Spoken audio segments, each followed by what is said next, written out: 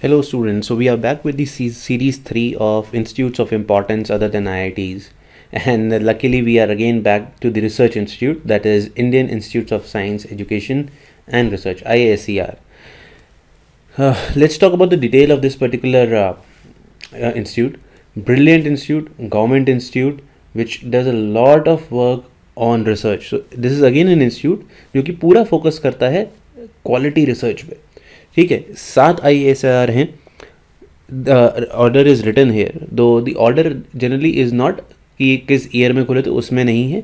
We have just followed the alphabetical order जैसे Berhampur is basically this is the Odisha here Bhopal you know Madhya Pradesh, Kolkata, Mohali, Pune Thiruvananthapuram Tirupati. तो these are the seven I I S E R colleges in India they purely focus on research अगर तुम लोग ये पूछना चाहते हो कि सबसे ओल्डेस्ट कौन से हैं तो ऑलमोस्ट ये तीनों जो हैं ये इस्टेब्लिश ऑलमोस्ट एक साल के इंटर इंटरवल होगा दोनों के, इन तीनों के गैप्स में but these are known as the older I I S C R so that is why these are all very famous ठीक है, इनमें हमेशा फाइट चलता रहता है कि कौन सबसे अच्छा है, बहुत सारे पोस्ट होते हैं कि इनमें आई आई एस सी आर में से, इन तीनों में से कौन सा अच्छा है but all of three have their own value I I S C R Pune generally ज़्यादा रैंक करता है क्योंकि उसका कल्चर बहुत अच्छा है रिसर्च का उस एरिया में। कंपनीज़ बहुत हैं जो रिसर्च कराने के लिए इंटरेस्टेड हैं तो इसलिए जनरली इसको हाईली रेटेड माना जाता है। Coming to the point the what it what it offers IISER offers you a five year BS MS integrated program. मतलब आप बैचलर ऑफ़ साइंस और मास्टर्स ऑफ़ साइंस दोनों बन के निकलेंगे यहाँ से। इंटीग्रेटेड फाइव ईयर प्रोग्राम है ये वर्ड इंटीग्रेटेड वो लोग यूज़ नहीं करते हैं। We have use it so so that you can understand what is this program all about पहले दो साल में याद रखें, पहले दो साल में हर बच्चे को सेम टॉपिक पढ़ाया जाएगा। तो बी एस एम एस की अगर हम बात करते हैं तो एक स्टेप अगर आगे चलें तो कोर्सेज कौन से ऑफ़र होते हैं? चार मेन जो सब्जेक्ट्स होते हैं हमारे। Biology chemistry mathematics and physics इसी के ऊपर रिसर्च कराई जाती है। सो पहले दो साल हर बच्चे को कोई से भी साथ आई में चला जाए, ये चारों सब्जेक्ट्स पढ़ाए जाते हैं। रिसर्च पॉइंट ऑफ़ व्यू से। थर्ड ईयर में जब आप आ जाएँगे थर्ड ईयर में you will get focus on specialization of a subject आपको बोला जाएगा that pick up a topic और sorry pick up a subject on which you want to concentrate and specialize on तब आप इन चार में से एक को पिक करके स्पेशलाइजेशन कर सकते हैं। Fifth year is completely dedicated to research project research project के लिए बहुत अच्छा यहाँ पर इन्वायरमेंट मिलता है plus you will also get funding for research projects for example let say fifty thousand if the research is approved and they find that the research को do wonders for the nation how many seats are there they are total almost around eighteen thirteen hundred seats at I S C R campuses उनकी bifurcation हमने लिखी हुई है, जैसे सौ बेहरमपुर में two sixty Bhopal, Kolkata two hundred Mohali two hundred Pune and so on right you can just see to this that these are very limited seats at each campus बहुत ज़्यादा बच्चे का इंटेक नहीं है। So they take very limited cool so that research जो है quality research में convert हो जाए। Eligibility we talk about candidates जिन्होंने ट्वेल्थ 2017 में कंप्लीट कर दिया है या गोइंग टू कंप्लीट इन 2018 तीन सब्जेक्ट्स पढ़ने हैं फिजिक्स केमिस्ट्री मैथमेटिक्स या बायो कोई सा भी चलेगा। इसके आगे बात करेंगे कि पेपर में क्या पूछा जाता है will come to that but physics chemistry base होना चाहिए। मैथमेटिक्स और biology should be the main subjects modes of admission आप तीन तरीके से एंट्री ले सकते हैं। एडमिशन हो सकता है आई में that is K V P Y J advance S C B okay S C B क्या है? ये एक एप्टीट्यूड टेस्ट है। We'll just talk about this याद रखना क्या है? पचास परसेंट सीटें जो हैं मैक्सिमम फिफ्टी परसेंट सीट्स ही के वी पी वाई और जेई एडवांस से फिल करी जा सकती हैं। बट अगर आप नोटिस करें, ये इन्फॉर्मेशन आपको पहले पता होती do you realize that how important K V P Y is बहुत सारे बच्चों को के वी पी वाई इंपॉर्टेंट पता ही नहीं होता कि वो इंपॉर्टेंट क्यों है बिकॉज़ अगर के वी पी वाई में आप सिलेक्ट हो जाते हैं you can see that you are already selected in these kind of colleges fifty percent seats maximum K V P Y और जे एडवांस की कैटेगरी से भरी जाएँगी. ज़रूरी नहीं है कि सारे के सारे के वी पी वाई बच्चों को सिलेक्शन मिल जाएगा. For example this year almost around two hundred K V P Y students were not selected जिनकी रैंक्स लास्ट के जो 200 hundred K V P Y guys थे, उन्हें नहीं मिला था बिकॉज़ सीट्स की एक क्राइटेरिया कि 50 परसेंट सीट्स ही के वी पी वाई से फिल करी जाएँगे। ठीक है?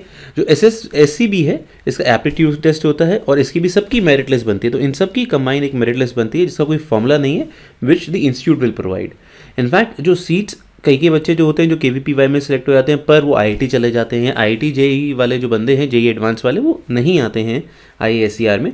So the left seats are then transfer to S C B that is the aptitude test से जो एंट्री हो रही है which is a very good point K V P Y everybody knows so K V P Y में valid fellowship अगर आपकी है if you are selected then you can apply for admissions इसमें भी एडिशनल कट ऑफ़ क्राइटेरिया कई कई बार लगता है, अगर एप्लीकेशन ज़्यादा आ जाती हैं। जे एडवांस एक क्लियर कट उनका है इंस्ट्रक्शन है कि आपकी रैंक जो है should be below ten thousand the cut off for and this is mind you this is not JEE mains cut off this is JEE advance so C R L common rank list में जो अगर आपकी list आती है, उसमें अगर आपकी rank ten thousand से नीचे है then you will fall under that category where you will be selected through JEE advance एक और पॉइंट नोट करने का you can apply through multiple channels आप हो सकता है जेई मेन्स एडवांस के थ्रू भी अप्लाई कर दें, और ये जो हम बात करना चाह रहे हैं which is very important for all the guys who's watching these videos क्योंकि कई लोगों का मानना है कि सर, जेई एडवांस से भी टफ हो गया ये तो। हम के वी पी वाई में सिलेक्टेड नहीं थे तो क्या अब हम लोग सेलेक्ट नहीं हो सकते? You can still get selected पर आपको एप्टीट्यूड टेस्ट देना पड़ेगा। You have to go through the aptitude test what is the aptitude test all about it contains multiple choice examination question होता है मल्टीपल चॉइस क्वेश्चन होते हैं। Problem क्या है?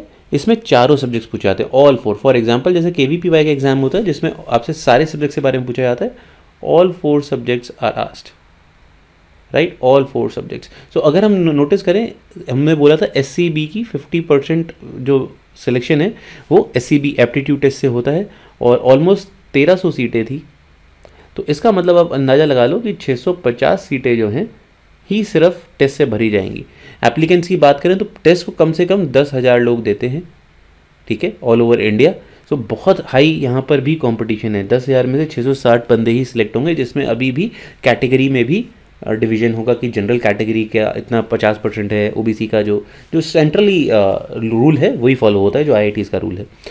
तो स्ट्रक्चर की बात करें, पंद्रह क्वेश्चन हर सब्जेक्ट आएँगे that is sixty in total duration is three hours plus three for correct minus one for wrong very normal marking scheme syllabus syllabus बहुत इंपॉर्टेंट जो क्वेश्चन होता है, ये सिलेबस क्या होगा sir syllabus is generally the N C R T syllabus of class eleventh and class twelfth okay for sample paper sample paper you can go to their website you can find them और you can also look into the MathonGo app all right you can find them in the Mathon Go app which we are updating this new year so if you are update the app by this new year uh, you will find uh, sample papers for KVP uh, sorry for IISER also generally NCRT का जो class 11th और class 12th का syllabus NCRT की books में लिखा है for all three all four biology chemistry mathematics and physics वही follow होता है ठीक है डिफ़िकल्टी लेवल ज़्यादा होगा एन वाला डिफ़िकल्टी लेवल एक्सपेक्ट करके मत जाइएगा पेपर देने तो क्लियर नहीं होगा paper coming to next important aspect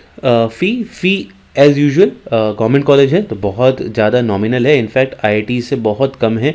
ये एक एग्जैक्ट फिगर नहीं है this is the approximate figure that we are talking about because हर आई का थोड़ा थोड़ा अलग अलग रूल है फॉर एग्ज़ाम्पल आई पुणे जो है, वो ग्रेडेंशियल फ़ीस लेता है। ग्रेडेंशियल फ़ीस मतलब क्या है? फ़र्स्ट सेमेस्टर की सबसे ज़्यादा है, फिर उसके बाद कम है, फिर उसके बाद चौथे की कम है, ऐसे।